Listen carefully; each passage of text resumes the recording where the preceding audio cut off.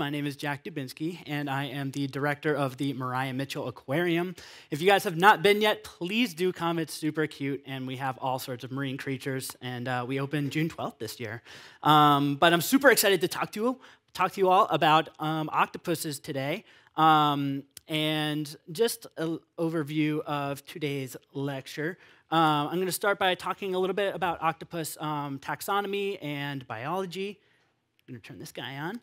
Um, and then we're going to talk a little bit about um, octopus intelligence as well, and uh, talk about the biodiversity um, within order Octopoda. And uh, we're going to finish off talking about Cthulhu, um, which is a really cute octopus that we had at the Maria Mitchell Association in 2021 and 2022.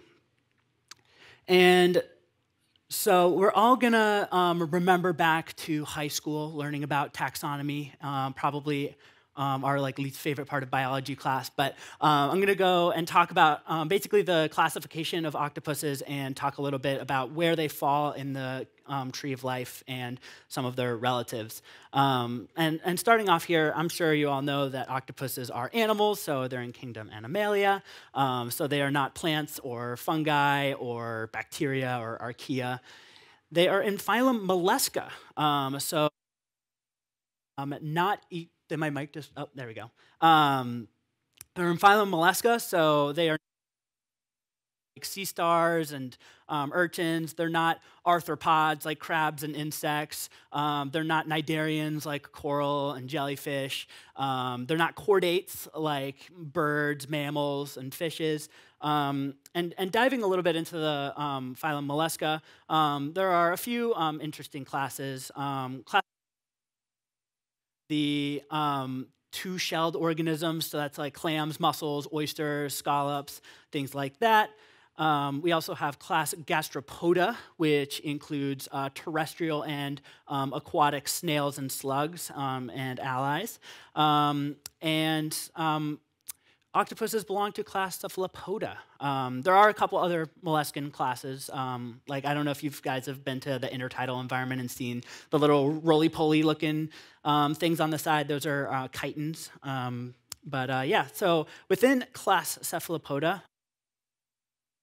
um, a few orders. Um, uh, so actually, um, I need to update this, but uh, there's a, so um, there's basically four orders of um, true squids.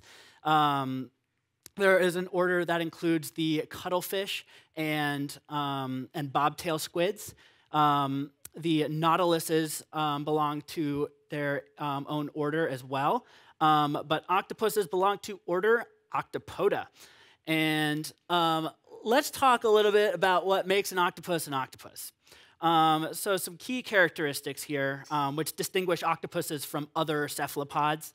Um, so, octopuses have eight arms and no tentacles. Um, and within the context of cephalopods, an arm is an appendage with suckers all the way down, and a tentacle is an appendage with suckers only at the end. So, um, squid, for example, have um, a bunch of arms and then two longer tentacles with suckers only at the end of them.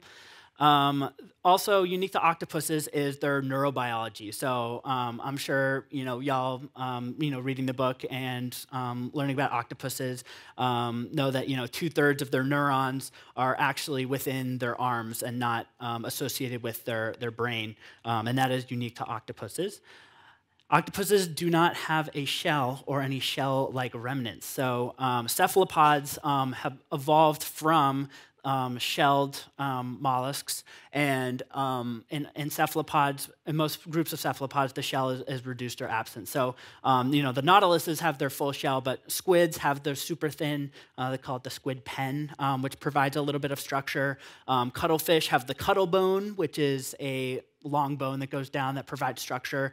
Um, octopuses do not have any structures like that. Um, there are a few species that have a shell remnant, which is a teeny tiny bit of shell, but it doesn't really provide um, structure to the animal, um, which makes octopuses um, particularly um, pliable. So basically, as you know, I'm sure you guys know, octopuses can basically you know, become gelatinous and squeeze through like teeny tiny little holes, and that's because they don't have any bones um, or rigid structures really inside of their body to prevent them from fitting into spaces. And um, just a little bit of uh, the anatomy here. Um, first, I want to point out that the um, the mantle here, like I, you might catch me saying the head, but this isn't. A head kind of implies that the body is elsewhere, and almost all of the octopus's organs are um, within the mantle there. Um, so, so octopuses have three hearts and uh, blue blood. And the blood is blue because of hemocyanin, um, which is a copper based blood pigment that carries the oxygen around instead of hemoglobin, which is the iron based um, blood pigment that we have that makes our blood red. Um, and blue blood sounds super unique, but within the animal kingdom, it's, it's not all that cool. Like uh, most crustaceans have blue blood, and a lot of mollusks have blue blood. Um, so the brain is shaped kind of like a donut, and it's between their eyes, um, and that helps um, them basically have like really quick response times between seeing something and being able to process and react to it.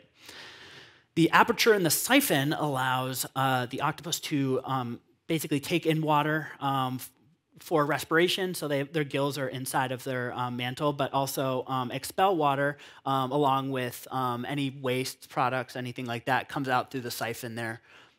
They also use the siphon for jet propulsion, so if they need to move really quickly, they can blast out water through their siphon um, and swim backwards really quickly. So, uh, most octopuses um, have ink sacs, um, and it appears all octopuses have a venom sac. Um, the ink sac is located basically near where the water flows, so if they're ejecting ink, um, they're inserting it into the water, and then as they pump out through the siphon, the ink comes out through the siphon, and the to the beak, so as they're consuming something, they can inject venom into it as they are breaking it open. And the arms and suckers are all around. Um, and you know, as you know, uh, Soul of an Octopus explores and uh, my octopus teacher explores, the the suction cups are, are pretty, um, pretty cool structures. So the, the suckers are able to um, you know, create a suction force, which allows them to grab, but the suckers can also manipulate around objects. So even though they don't have like opposable thumbs, they can kind of grab things with each individual sucker. Um, the suckers also have chemoreceptors, so they can smell and taste um, with them as well. And um, because the arms themselves have um, neurons in them, the arms can actually um, operate somewhat independently of the brain. So um, they, you know, they with their brain choose, you know, big picture um, behaviors, and then the arms can explore and, and do things without consulting the brain first, which is um, unique to octopuses. And um, some of the octopus media doesn't really dive into the octopus life history, which is um, I think is super important about under, um, part of understanding these animals. Um, so it all starts out with a male octopus and a female octopus, um, and um, basically uh, the male octopuses um, have um, especially basically one of their arms is modified to be able to deliver spermatophores to the female, and some octopuses will just use it to provide sperm to the female.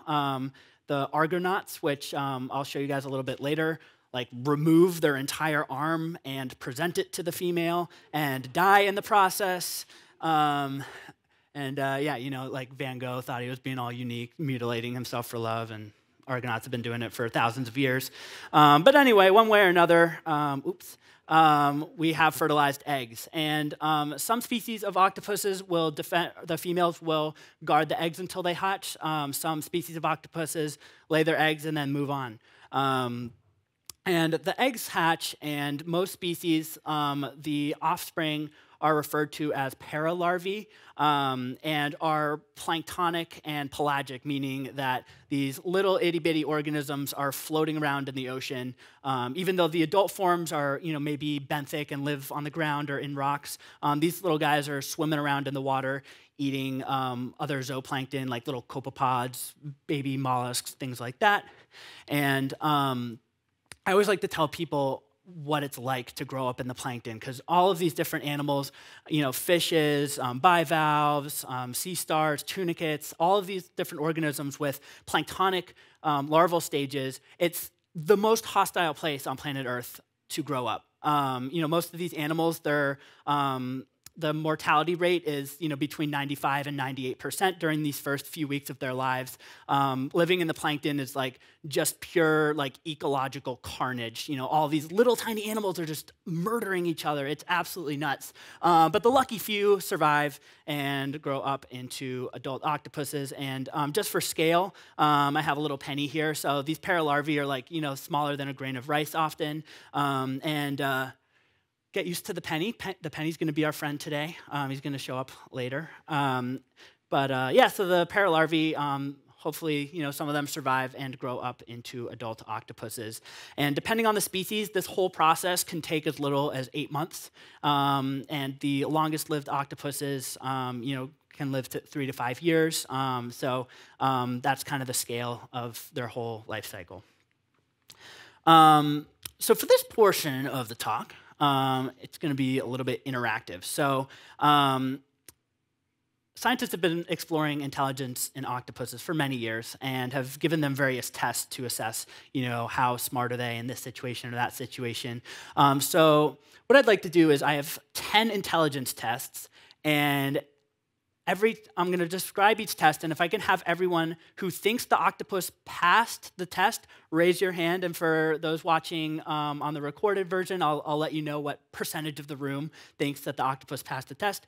Um, and be careful because not all of the tests were passed. Um, so um, yeah, so if you think the, the octopus passed the test, raise your hand. Um, the first one is the discriminative learning test. So um, basically, um, the scientists tried to get the octopus to attack, you know, the yellow, um, the yellow square instead of the red one or the blue one. And do you guys think the octopuses were able to learn to attack only a certain type of square? Raise your hands if you think the octopus passed. Looks like we got 70% of the room thinks they passed. They did indeed pass that test. Um, taking it one layer further, um, we have the conditional discrimination, um, yeah, dis, uh, discrimination test. Um, so this one, they had the octopus learn, you know, let's say attack the yellow square, but not the red or the blue square, and only attack the yellow square when the bubbler in the aquarium is on or the tank light is on. So they added another condition, um, and they, the octopus only got the reward when it when it did the right task in the right conditions. So show of hands, who thinks the octopus passed the conditional discrimination test? It looks like we got 60% of the room thinks they passed. Whoops. They did indeed pass that test as well. Next one, the generalization test. So this one basically, um, they taught the octopus to do something, and then they presented it with a different but similar, um, you know, condition set to pass, and see if it um, could pass the test based on what it had learned from a different set of conditions. So in this, it, we trained the octopus to attack the yellow square, and then you show it a yellow cube. Does it know to attack the cube because it's similar to the square? By a show of hands, did it pass the generalization test? See, yeah, like 60, 70%. And they did indeed pass the generalization test as well. Next one, ability to use tools. So, can octopuses use tools um, from around them to help them solve tasks and help them survive? Show of hands, who thinks they passed? All right, that's like 90% of the room. They can indeed use tools. Um, you know, if you use shells to defend themselves, um, there are really cute videos of um, little octopuses like dragging around a beer bottle and they get scared and they go into the beer bottle like little hermit crabs. Um, my favorite example of tool use is the blanket octopus, which is, um, even as an adult, they live um, you know, in the open ocean, and they will tear off the tentacles of Portuguese men of war and wield them as weapons to attack things and defend themselves. Um, so they're they're pretty yeah they're smart. Um, all right, next test. Do octopuses have the ability to plan ahead? And this test was modeled after the uh, famous uh, Stanford marshmallow test, um, which is, was basically uh, you put an animal in a room with a marshmallow, and if they eat the marshmallow, that's great, they get a marshmallow. But if they are able to um, wait another 30 minutes or however long, they will be rewarded with two marshmallows. Um, so um, they did a similar test on octopuses, and by show of hands, do we think they were able to plan ahead? Like 50% of the room, they were indeed able to plan ahead and learn that patience um, can be rewarding. Alrighty, round two, we're doing social and emotional intelligence, and be careful, they didn't pass all of them this time. Um, so let's see, first one here, um, the learning by watching test. So they tested to see if an octopus that didn't know how to do a task could watch another octopus do the task successfully and see if the first octopus could learn how to do that by watching the other octopus do the task. By show of hands, who thinks the octopus passed the learning by watching test? Oh my gosh, uh, 80% or so of the room thinks they learned um, by watching, and oops, they indeed passed that test. Next one, social play, um, which a lot of scientists um, consider to be a uh, marked sign of intelligence. Um, do octopuses interact, hang out with other octopuses um, with no practical purpose, um, just to explore and hang out with them. By show of hands, how many do we think do social play? Let's see, we got like 20% of the room thinks they passed. They indeed failed that one. So do not and um, they, if, they're, if two octopuses are near each other and, and exploring each other, they are either about to reproduce or one of them is about to eat the other one. Um, so yeah, they're, they're not friends. Um, but similar test, non-social play. So um, do octopuses use objects in their environment or, or hang out with animals in their environment for no practical reason, but just to hang out and explore with them? Um, by show of hands, do you guys think they play with objects. Let's see, we got like 60% or so thinks think they play with objects. They do, um, and so um, like in aquariums, we we give them toys to play with. Um, in the wild, they'll play with fish and things like that. Um, so they like to explore their environment for sure. Alrighty, the next one um, are octopuses able to recognize individual people just based on their face? Um, so, like, you know, let's say, like, can an octopus recognize its aquarist versus an aquarium guest, even if the aquarist changes their clothes or shaves or changes their hairdo? Do we think octopuses are able to recognize individual people? Show of hands. Looks like we got 90% of th- people think they can, and they do indeed recognize individuals. Last one here is um, we've got the mirror self recognition test. Um, this is an interesting one. So um, basically, this test you have an animal and you give them anesthesia, knock them out somehow, and then scientists will put like a little tag or a blemish somewhere on their face that's out of their field of view. So, like for example, if you have ketchup on your on your cheek, you can't see it unless you look in a mirror, right? Um, so they put a blemish on the animal and then they wake up and then they put a mirror in front of them and they look at themselves and they see the blemish and they, they know they recognize themselves in the mirror because they can see the blemish through the reflection and then they start to scratch it or try and get it off. Um, so, do we think octopuses passed the mirror self recognition test? Show of hands. Let's see, we've got like maybe 30% of the room thinks they passed. They indeed failed the mirror test. Um, so they, um, the octopus tested uh, did not show any different behaviors um, looking at itself in a mirror versus looking at another octopus through the tank glass. Um, so um, that's it. And um, I also wanted to mention that scientists have been studying octopus intelligence for many, many years. There are way more than 10 tests that have been done on them, but um, I thought this was a, a fun little uh, selection there. Um, shifting gears here, um, I wanted to talk a little bit um, about um, the diversity of octopuses. Um, there's over 300 species of octopuses worldwide. Um, they come in all sorts of sizes and um, have different like habitats and lifestyles and different diets and things like that. and and some of the you know, we think of octopuses as these like, you know, benthic animals that are living in rocks and caves and stuff, but um, some species have a, com- oops, a, completely different lifestyle. And I wanted to start with the giant Pacific octopus. Um, this is uh, the species that was um, soul of an octopus, um, and there is a diver um, behind it uh, for reference. And the giant Pacific octopus is the, the largest octopus species that we know of, um, and also the longest lived with an average lifespan of three to five years.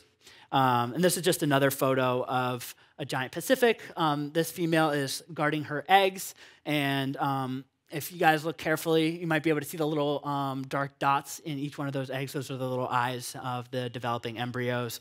And for reference, we have Mr. Penny here uh, to like basically grain of rice um, size eggs um, on the giant Pacific octopus, the largest octopuses.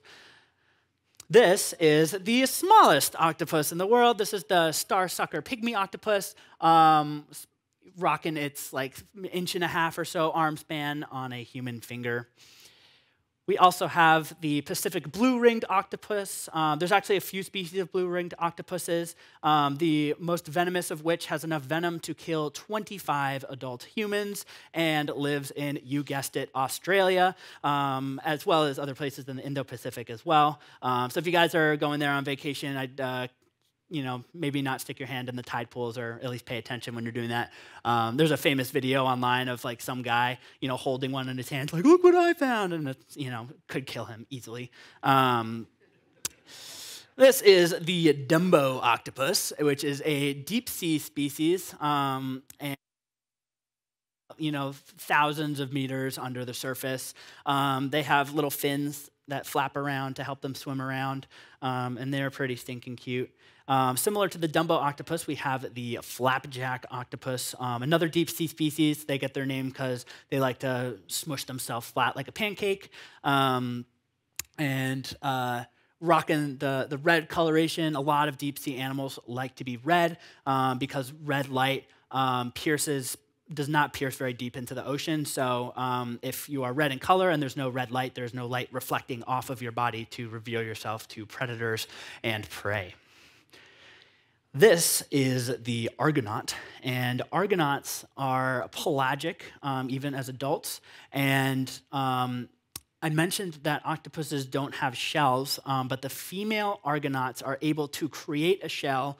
Um, this is not attached to her body, so she can leave it whenever she wants. And octopuses like to lay their eggs in caves and nooks and crannies. And if you're living in the middle of the open ocean, um, no such place exists. So why not build your own cave? Um, and so they build these like paper thin um, calcium carbonate shells and lay their eggs inside of them.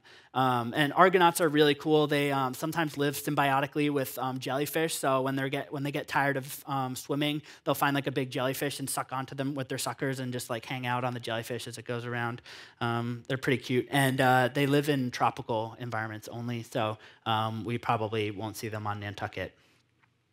And uh, the last species I wanted to talk about is the common octopus, um, which uh, gets its name because its range is basically the entire Atlantic Ocean. Um, they're found as far north as Canada and as far south as South Africa. Um, they're hanging out in the chilly waters of the Gulf of Maine and hanging out in tropical coral reefs. Um, they're also in the Mediterranean as well. And um, common octopuses, their lifespan is maybe one to two years two being the extreme extent, you, on average, one, and a half, one to one and a half years.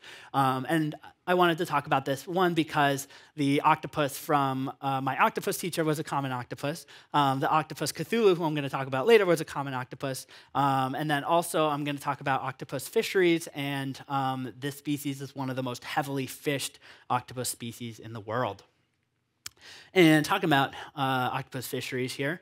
Um, so about 350,000 metric tons of octopuses are fished every year, um, and that fluctuates, you know, a little bit, but on average, um, that's a pretty good estimate. And um, they're caught um, in a few interesting ways. They, you know, they have like normal um, octopus traps. some are caught with you know, trawl nets going through the ocean. Um, but the most common and I think the most interesting way is by using these uh, little pots. And when people say crab pot, it's like a trap with like a, you know, a door or something like that. Um, octopus pots are literally clay pots, and they've been fished like this um, for hundreds of years. And basically, the idea is you tie like you know dozens or hundreds of these things together at you know set intervals like you know every three feet or something on a really really long rope.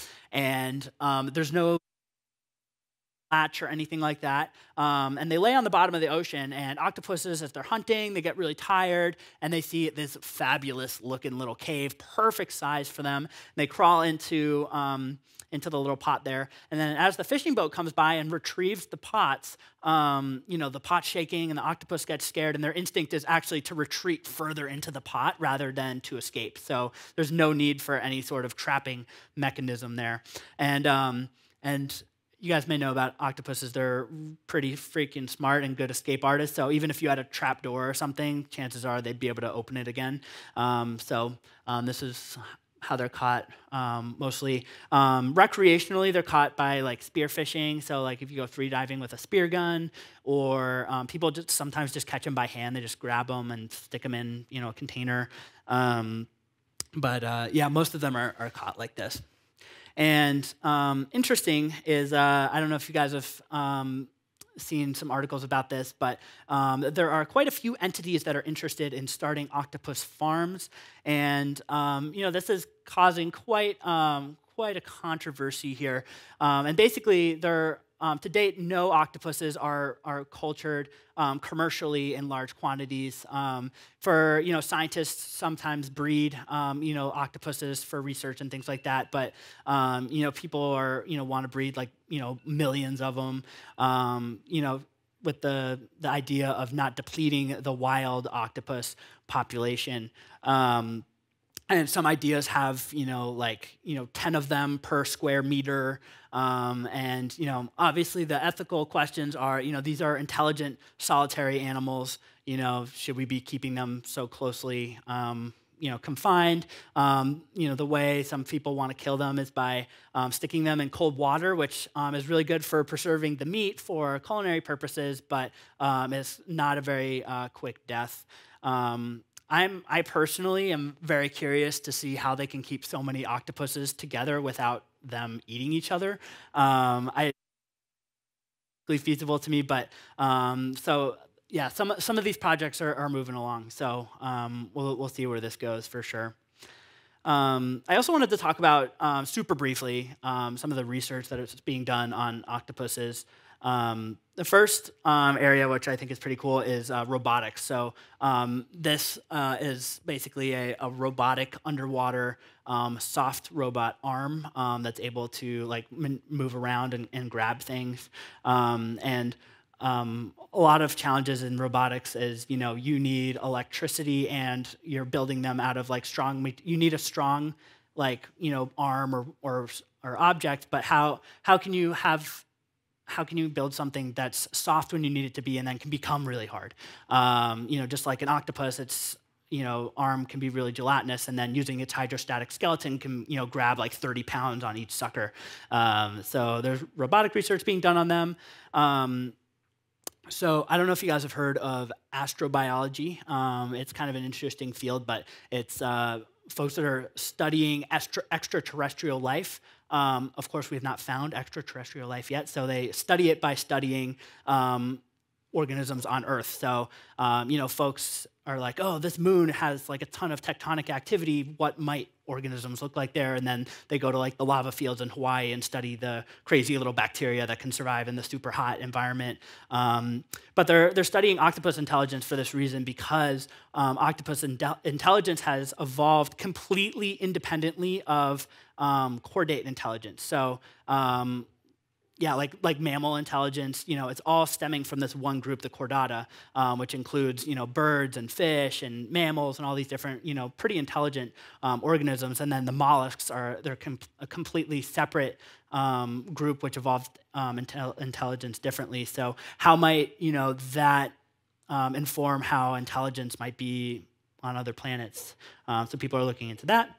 Um, they're also studying them for biomedical science, um, specifically like their limb rege- regeneration. So if like an octopus like loses a limb uh, to like a shark bite or something like that, it can regenerate um, the limb. And a lot of animals um, can regenerate parts of their body, but what's specifically interesting about octopuses is that they have neurons in their arm and they are able to regenerate the neurons as well which you know when you think about um, you know neurodegenerative diseases in humans you know how might we be able to learn about um, neuroregeneration in octopuses um, and apply it to, to human medicine. Um, also interesting, I don't know if you guys have heard of the, the sea slug, which is also a mollusk, um, that you can chop its head off.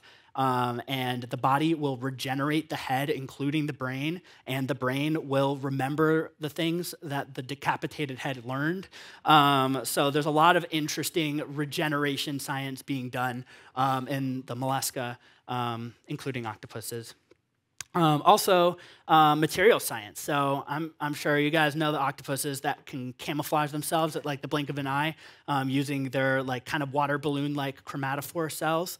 And uh, you guys know the military saw that and was like, hmm, can we, can we hide our tanks in plain sight? You know, can we, can we hide soldiers in plain sight? So they're being studied for their camouflage as well, and in addition to a bunch of other different fields. But um, they're such unique, interesting animals that there's really cool, unique research being done on them. And shifting gears here again, um, this is Cthulhu, um, the common octopus that we had at the Maria Mitchell Association in 2021 and 2022. Um, she was a common octopus, um, like I mentioned before, and um, was collected by a local lobsterman who pulled up the lobster pots and occasionally has little tiny octopuses squirming around off his deck of his boat. And when we got her, she was probably around two or three months old. And this is my first picture of Cthulhu. And um, this is her at the bottom of a five gallon bucket. And I know you guys are thinking, if only there was something on the screen, a reference point of some sort. Um, don't worry, we got your back. Mr. Penny is here again. Uh, so yeah, Cthulhu was um, just like her uh, mantle was just over the size of a penny.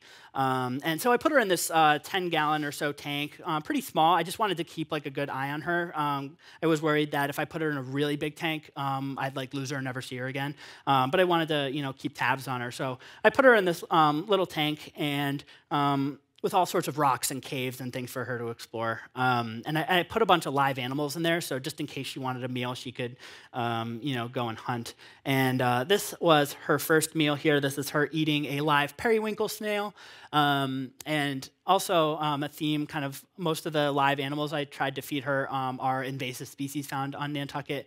Um, so periwinkles are, are an introduced uh, species. And, um, and yeah, so this was her first meal. I don't know why she chose the periwinkle instead of the little crabs or the shrimp. Um, maybe it was because it was the easiest target or because it was the first thing she saw. Not sure. Um, but um, she enjoyed that little snail for sure. Um, the next day, uh, I caught a really cool video, and I'm sorry the, the videography is, is not great because I, I, shot this at night. So as the video plays, it'll become more clear. But um, here in the little circle, this is a, a, shore shrimp, which is a very common um, little species. They get like this big, and um, this is a little shore shrimp um, exploring the new tank that I put it in. And there's Cthulhu hanging out behind that little piece of glass. And one tentacle, there it goes. And, um, and, and you'll see a lot of these videos where um, she's eating live food. Like that first contact with the first sucker, that's game over um, for sure.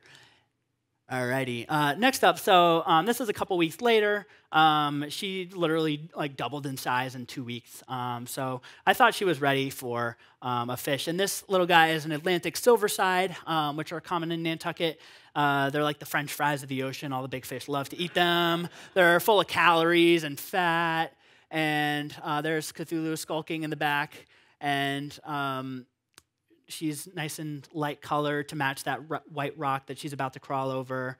And um, she, yeah, it, it was interesting watching her grow and, and watching her hunting skills develop uh, because she was definitely, you know, learning how to hunt, um, you know, something. Um, and yeah, so she, she grabs the fish, and, and the fish had no idea she was coming, right? Um, and she goes back to her little cave. Um, so she, uh, yeah, became a very good hunter very quickly. And um, also, um, you know, like in Soul of the Octopus, you know, they had all these different toys and, and things that they gave to the octopus as enrichment, right, to keep it, uh, keep the octopuses mentally stimulated.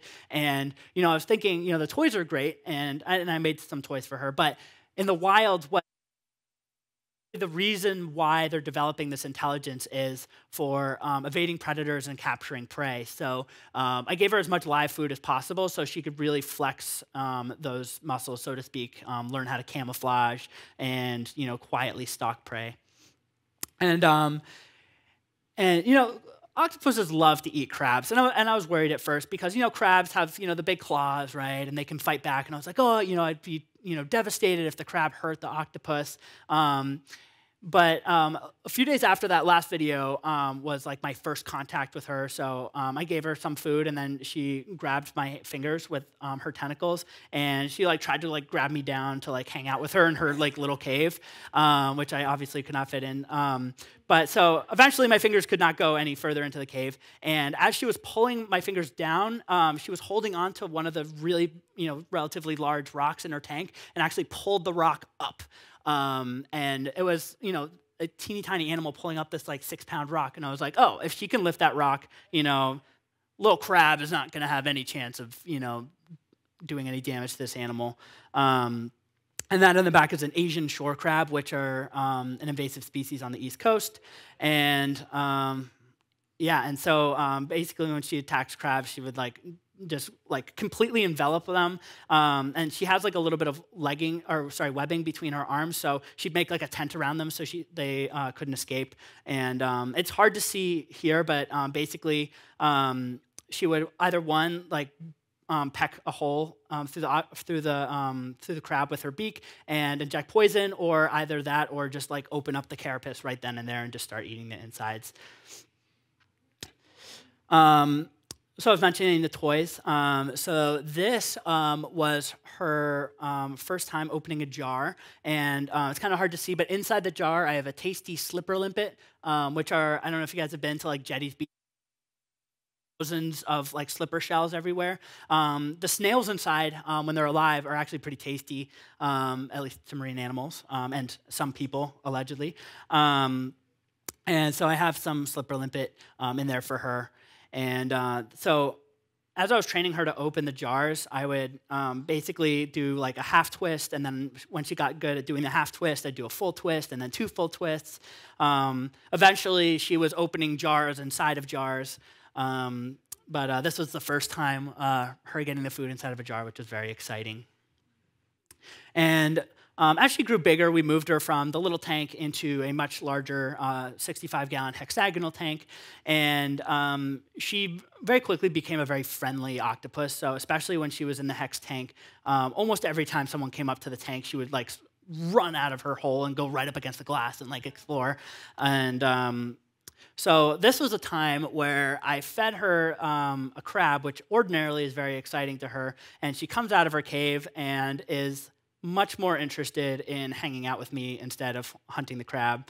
Um, so I, you know, she comes right to the glass. I play with her for a little bit, um, and I'm like, oh, you know, the crab is like right there.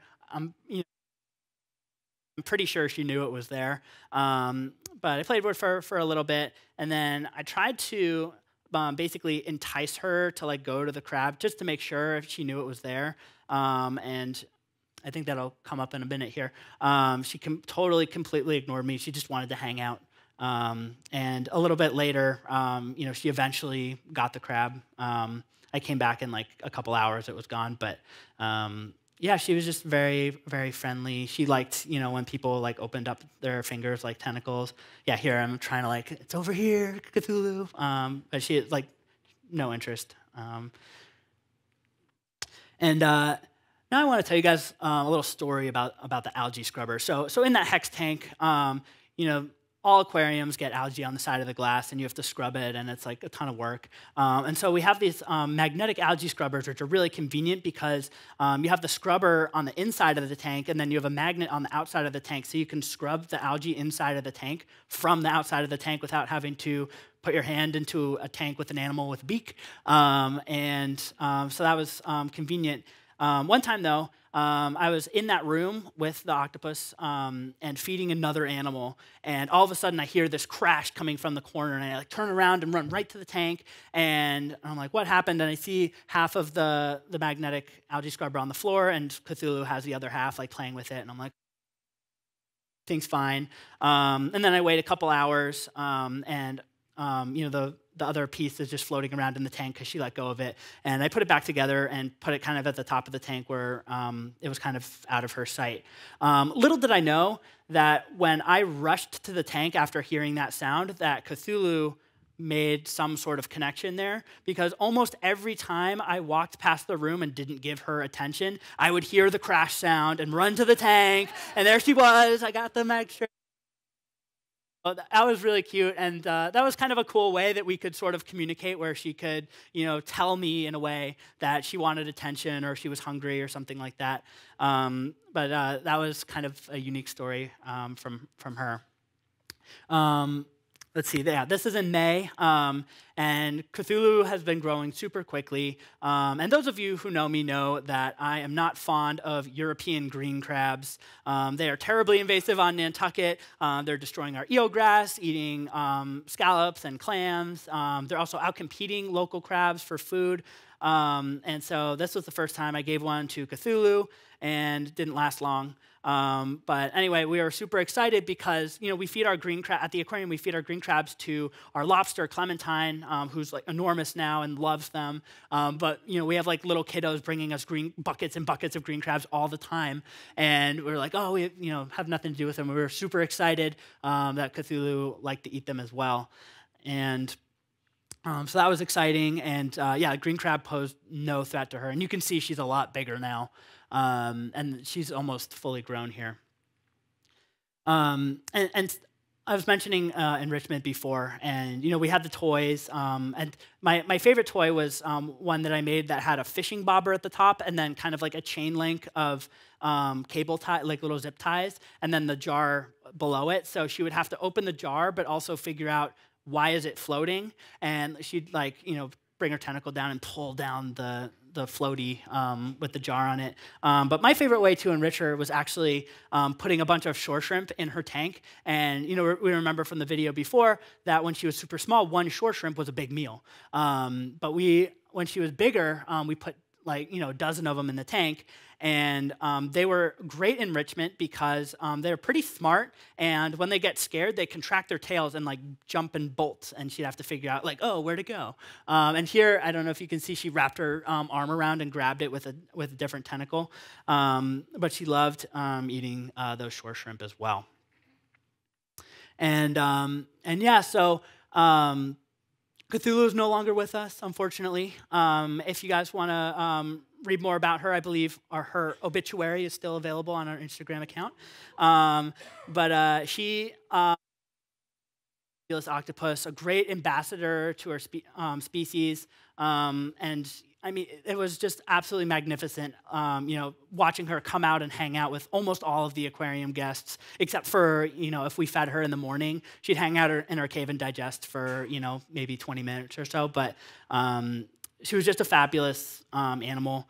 And, um, and yeah, she definitely had an impact on, on many aquarium guests, um, including uh, the folks that got to see her as a baby when she was at the Natural Science Museum and um, yeah, she, she is missed very much. And that is everything I have. Do you guys have any questions? Great. Awesome. Thank you, Jack. So now we'll take questions from the audience. If you could please raise your hand and wait until you get a microphone.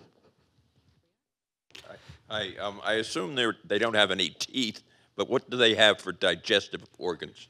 Um, yeah, so they have they have a normal digestive uh, system with like a stomach and intestine. Um, they don't have teeth, but they have um, a beak, which is a, a, hard, like rigid structure. So they are able to crush things and um, manipulate them like that.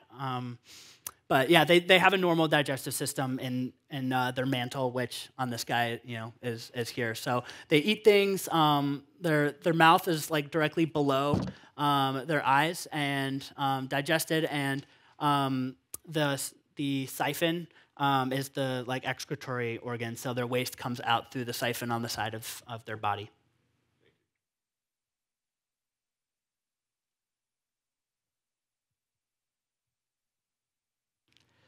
Can you hear me? Yeah. I don't know. Okay. Um, why why are they sh- so short lived? What is the reason? Why do they live such short lives? Yeah, um, that's a really interesting question, which um, scientists are still kind of wondering about right now. But um, one of the best theories that I've come across is that um, adult octopuses are um, extremely ecologically powerful individuals. So, um, an adult octopus can really impact the crustacean and mollusk community you know, immediately around their den. So they're so effective at hunting crabs and clams and things like that, that if there were tons and tons of octopuses, you know, the crab populations and um, bivalve populations would totally, um, you know, collapse. And so the short lifespan allows them to um, basically not compete with their young. Um, so um, if all of their, if, if the adults and the young survive, had long-lived lives, then there would be no food for them to eat. Um, so I like, you know, just off the top of my head, I wouldn't be surprised. They, there were once were longer-lived octopuses, and um, they were, you know, basically destroyed their ecosystems, and then the ones that were shorter-lived um, actually survived. Lived ones, um, or yeah, basically like their offspring like didn't compete with, or the adults didn't compete with the offspring, so the offspring had um, a higher likelihood of passing down their young. Um, but yeah, that's basically the best answer we have for that.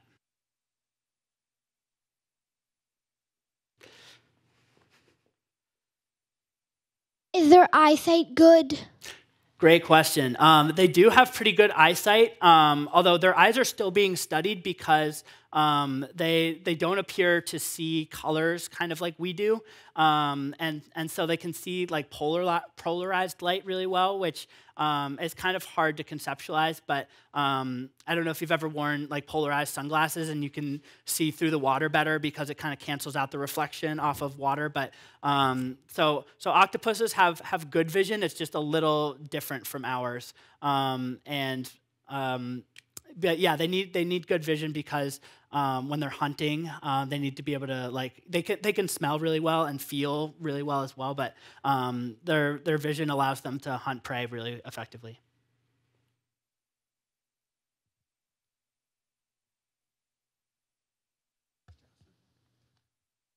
Um, have you, uh, would you, or do you eat octopus? Great question. I was anticipating that one. Um, I haven't I haven't eaten octopuses for many many years. Um, you know, since learning about them. Um, not that you know I'm advocating that you know people don't eat them, but um, I, I, haven't eaten octopus in a while. Um, and for those of you who haven't tried it, it's very similar in texture and, and to somewhat to some extent flavor to um, to squid. Um, but um, and the main reason I don't eat octopus is because um, in a lot of um, areas they are being overfished. so at, at, a lot of places the the octopus product is not like a sustainable product. But but yeah, there is a growing movement. you know, folks choosing not to eat octopuses after learning about how intelligent they are. Um, some people can, you know, compare their intelligence to cats, and like we can't, you know, conceptualize like wanting to eat cats, you know. Um, but uh, yeah, I don't, I don't really eat octopus anymore.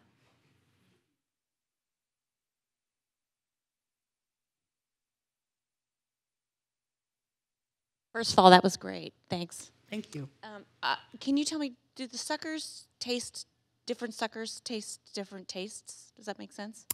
Um, like the tongue has different sections that taste differently, right? I, yeah. So I'm I'm not hundred percent sure, but I'm pretty sure um, that the chemoreceptors on the suckers are are more or less similar. So, like the the suckers at the end of the arm are kind of have the similar taste capability as the as the ones that are you know closer to the mantle, um, with the you know exception that like you know the bigger suckers will have more chemoreceptors than the smaller ones. So um, that being the only difference that I know of.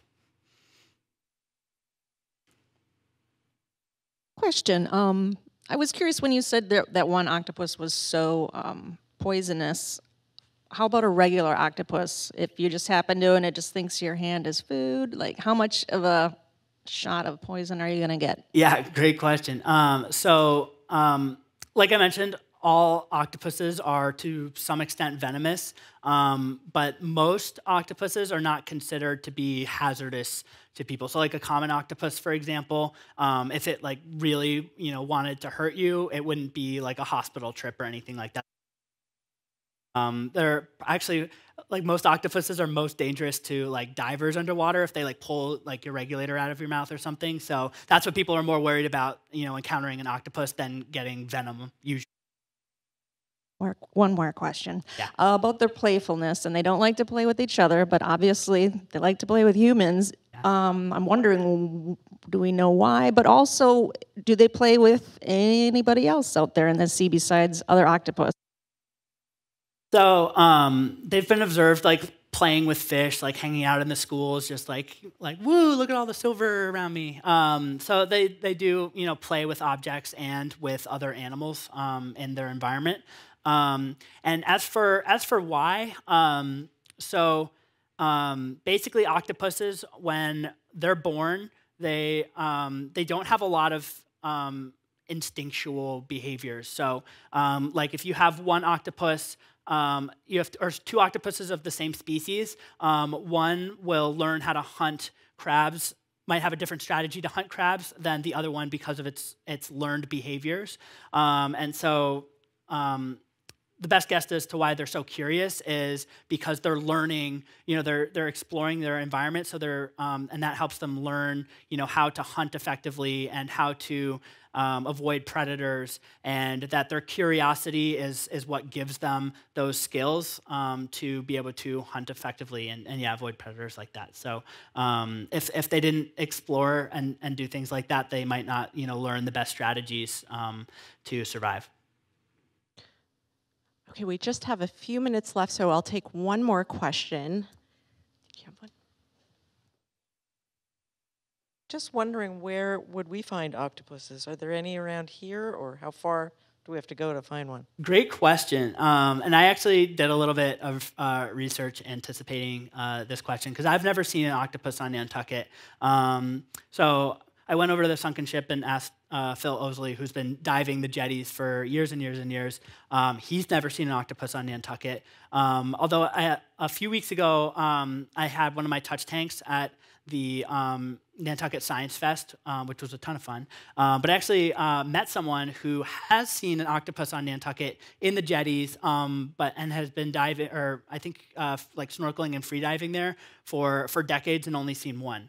So I my I guess my answer to that is that so common octopuses we're square within their range, um, and uh, the thing is that common octopuses love rocky environments where they have uh, you know access to food and can hide. And Nantucket really doesn't have a lot of rocky habitat. We have the jetties, and that's kind of the only suitable habitat for them. And it's not even a natural structure. So like when the tides come in, um, and in and out, the water flows th- so rapidly through the rocks that it's probably not a pleasant place for an octopus to live anyway. Um, so I guess my answer is they're probably here. Um, they're just not abundant. And um, I, I, would also imagine that um, octopuses spawning in the area, um, you know, during that paralarvae stage where they're just getting thrown around the ocean, I would imagine that octopus larvae come in and out of the harbor, you know, periodically. so they're probably most abundant during that life uh, life phase, but um, they're not they're not abundant here because we don't. Well, Jack, thank you so much for sharing your knowledge and your infectious Absolutely. passion with us tonight. I had a great time. so fun hosting you. Um, I also want to thank our NHA members for supporting these free public programs. If you are not a member already, you can become one by going online to NHA.org. Thank you all for joining us this evening.